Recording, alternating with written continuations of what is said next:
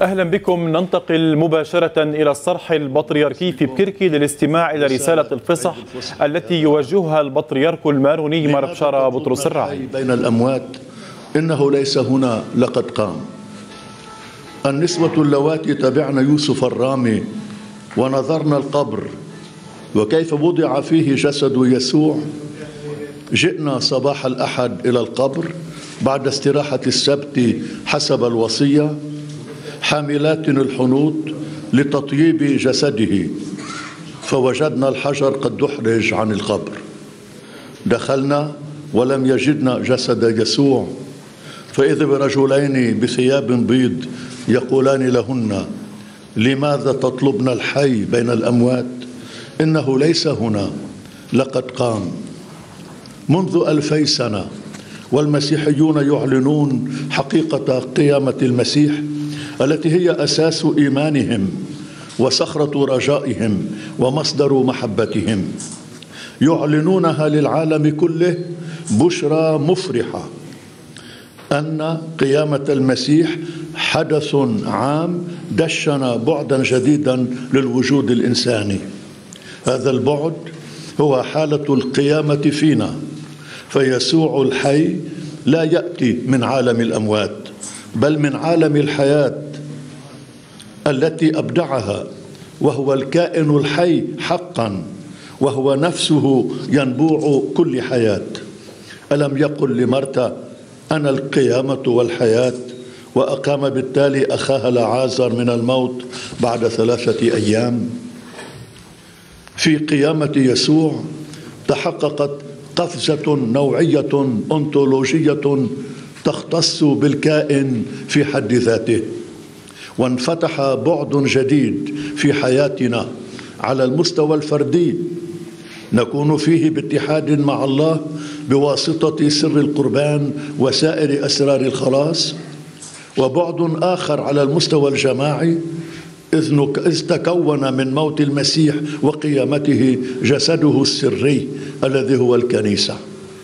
وهو المسيح الكوني الذي يدخلنا كأفراد وجماعة في شركة اتحاد ومحبة مع الله وفيما بيننا.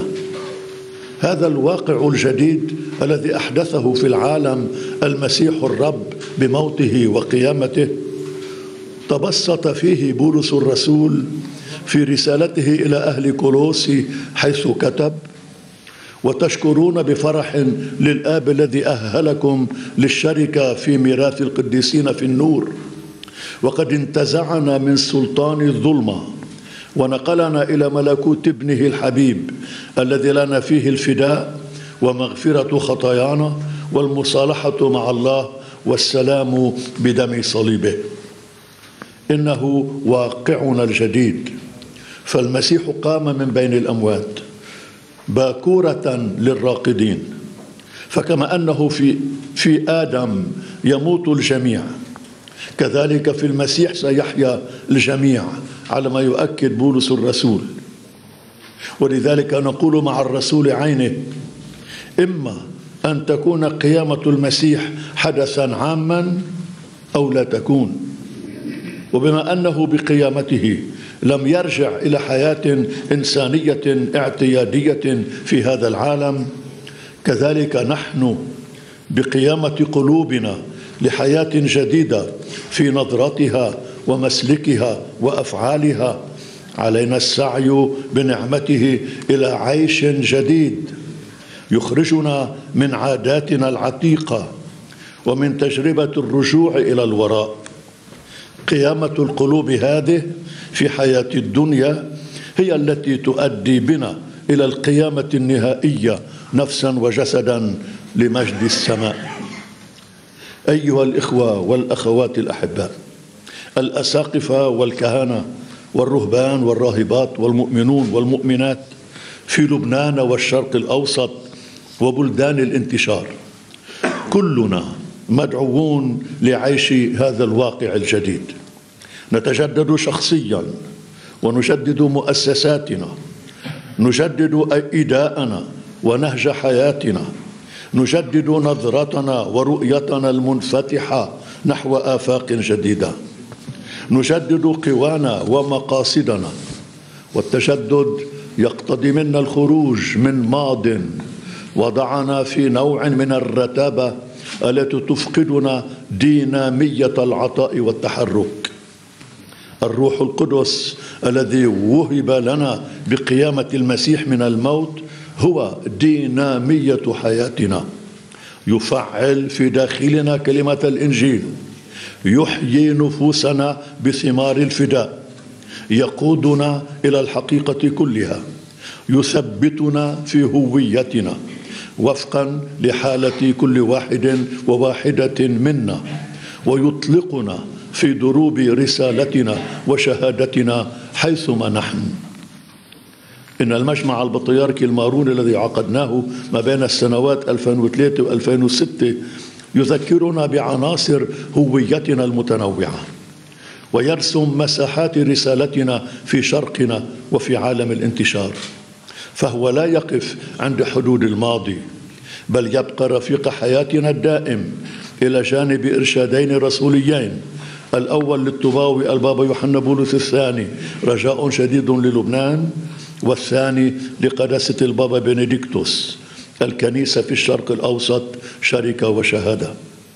كما أن لنا دفعا جديدا نحو هذا التجدد الدائم من قداسة البابا فرانسيس ونهج البساطة والتواضع وحالة الخروج الدائم نحو الإخوة في حاجاتهم الذي أطلقه قداسته في الكنيسة.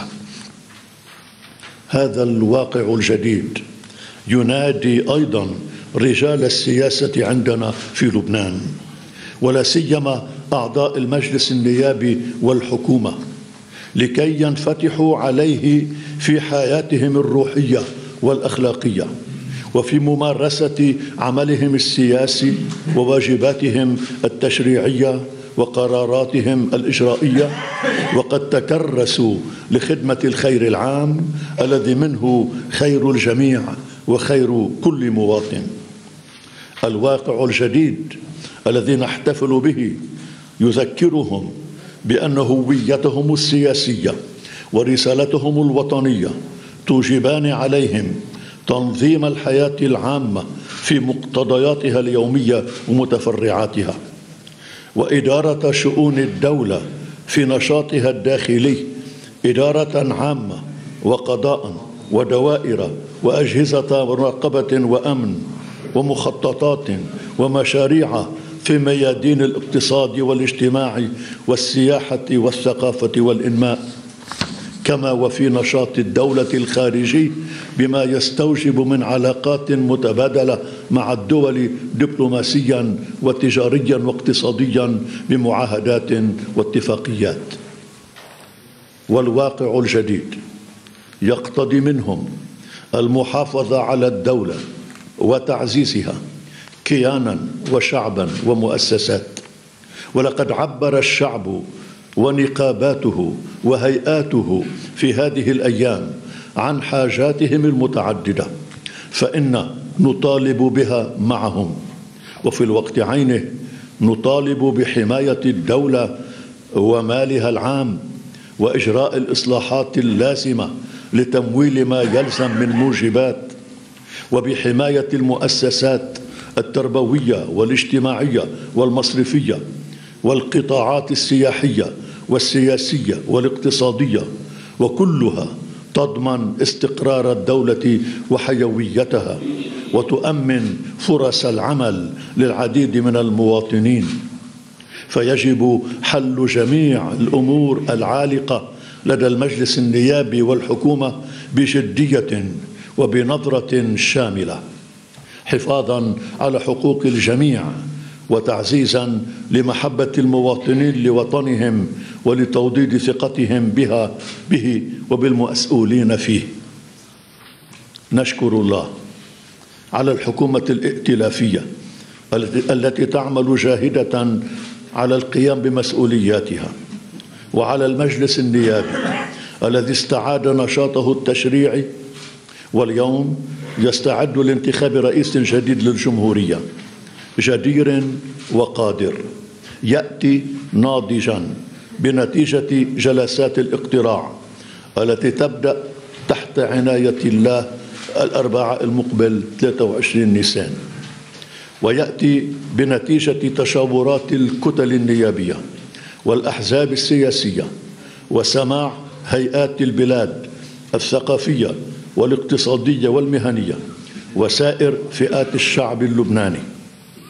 إن أنظار العالم ولا سيما الدول الصديقة موجهة إلى المجلس النيابي وتأمل بأن يلتزم السادة النواب بواجب الحضور والاقتراع والتشاور بحكم الوكالة الملزمة.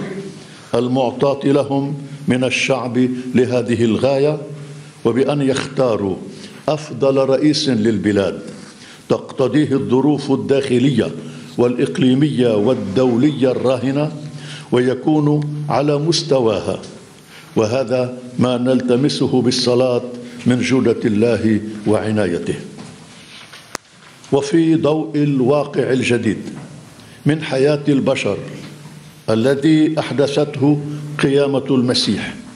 نتوجه إلى إخواننا وأبنائنا وبناتنا أساقف وكهنة ورهبانا وراهبات ومؤمنين الذين يعيشون مأساة الحرب والعنف والإرهاب في سوريا والعراق ومصر وفلسطين والأراضي المقدسة وفي سواها من البلدان القريبة والبعيدة.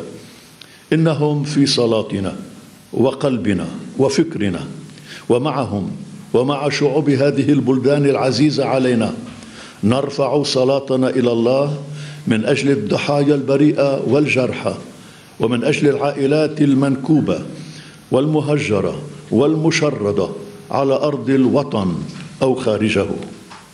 نناشد المتقاتلين والمتنازعين اتقاء الله وإيقاف دوامة العنف وحل قضاياهم بالحوار والتفاهم والتفاوض. ويؤلمنا للغاية سقوط ضحايا بريئة كل يوم هنا وهناك وهنالك. كما وآلمنا استشهاد الأب اليسوعي فرانس منذ أسبوع في حمص والخمسة وخمسين طفلا في إحدى المدارس في دمشق الثلاثاء الماضي. إننا نطالب الأسرة الدولية وفي طليعتها الدول المعني الدول المعنية وضع حد لمأساة سوريا على أساس من الحقيقة والعدالة والكف عن مساندة النزاع وتأجيج ناره بإرسال المال والسلاح والدعم لأغراض خاصة سياسية واقتصادية. ونلتمس من المسيح المنتصر على الخطيئة والشر والموت أن يمس ضمائر المسؤولين ويحرك في قلوبهم المحبة والرحمة. بسلام المسيح نحييكم جميعا مقيمين ومنتشرين.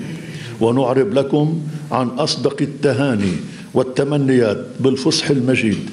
راجين لكم نعم الله التي فاضت من ذبيحة الفادي الإلهي وأشعت على العالم أجمع بنور قيامته.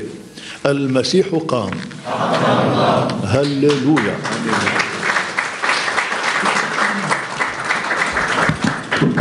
شكرا لاصغائكم اذا تابعنا رسالة الفصح للبطريرك الماروني مار بشاره بطرس الراعي وقال فيها إن السيد المسيح قام من بين الأموات باكورة للراقدين وعلينا السعي للعيش جديد يخرجنا من عاداتنا العتيقة وتجربة الرجوع إلى الوراء فقيامة القلوب تؤدي بنا إلى القيامة النهائية ونحن مدعوون لعيش جديد ولتتجدد مؤسساتنا وأدائنا ورؤيتنا وقوانا للخروج من ماض وضعنا في رتابة. وقال إن الواقع الجديد ينادي رجال السياسة في لبنان ولا سيما أعضاء المجلس النيابي والحكومة لكي ينفتحوا عليه في حياتهم وعملهم السياسي. وقال البطريرك الراعي إن الواقع الجديد يقضي أيضا من النواب المحافظة على الدولة وتعزيزها كيانا وشعبا ومؤسسات عبر الشعب.